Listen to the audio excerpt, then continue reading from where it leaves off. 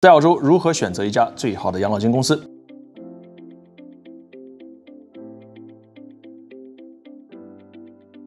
大家好，欢迎收看今天 Go Markets 的热门话题部分。我们知道呢，在澳洲所有工作的小伙伴，不管你是自雇还是在公司上班，都面临一个问题，就是如何选择一家比较好的养老金公司。我们知道呢，虽然这养老金要六十岁以后才能拿，但是毫无疑问，它每年这个回报率啊，即使是差了百分之一、百分之二，但是在积累了三十年或者四十年之后，那就是几十万的差别。因此，选择一家表现优异、收费低。又功能齐全的养老金公司，毫无疑问，这个事儿呢，就是越早做越好。那么今天我给大家介绍几种比较好的方法，可以快速的识别一个好的养老金公司。那么如何选择一家表现出色、费用低，但是呢，同时又能让你拥有其他额外功能的养老金公司呢？以下的做法就是重要的参考方式。第一，查看澳洲金融审查机构 APRA 在二零二一年所公布的全澳业绩排名前十的养老金。那么在这前十的名单中呢，又分为了两种不同的名单。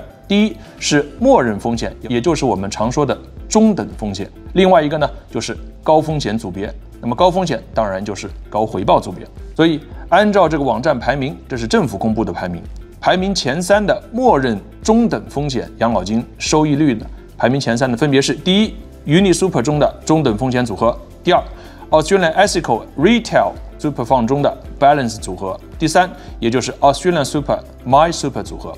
这三个组合分别列了第一、第二和第三。那么在高风险高收益回报组合中，排名前三的分别是：第一，Hesta 可持续高增长组合；第二，UniSuper 可持续高增长组合和第三，UniSuper 高增长组合。所以。查看一个养老金公司是否在表现前十名的这个名单中，是我们选择养老金公司的第一步。那么第二步呢，就是选择一个尽量可以让自己有更多自由性功能发挥的养老金公司。怎么说这个意思呢？比如说有一些小伙伴啊，他平时自己也会炒一些股票，也懂得一些投资方式，但是呢，传统的养老金公司它只是帮你去投，但是并不能让你选择某一家公司。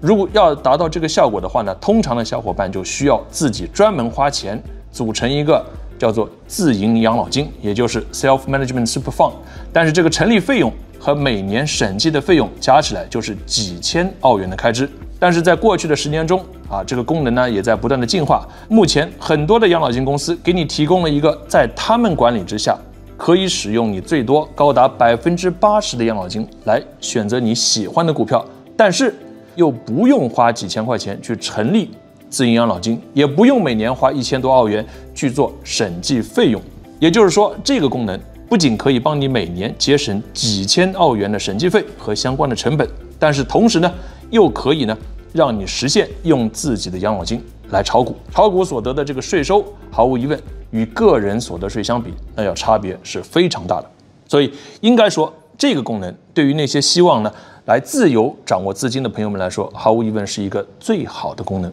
所以，如果我们要总结以上的发言的话呢，总结的两点就是：第一，先选择在政府的 APRA 网站上排名前十的养老金公司，然后。如果你想自己自由买卖股票的话呢，在这前十名公司中，你稍做一些这个调查啊，每个公司登录一下网站，查一下他们的主要功能，看一下他们是不是允许让你使用自己的资金去买股票。如果你知道了这两点的话，毫无疑问就可以尽量的避开那些绝大部分的坑。至少，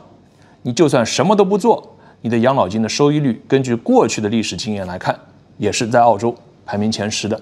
那如果你又稍微懂得一些投资啊，运气好一点的话，碰到几个股票出现大涨，那么你养老金的收益率毫无疑问就可以超过绝大部分的小伙伴了。今天我们的节目给你带来的收益，相信一定是非常深的。如果你喜欢我们节目的话呢，欢迎随时点赞、关注和转发。我是 Mike，感谢您的收看，我们下期节目再见。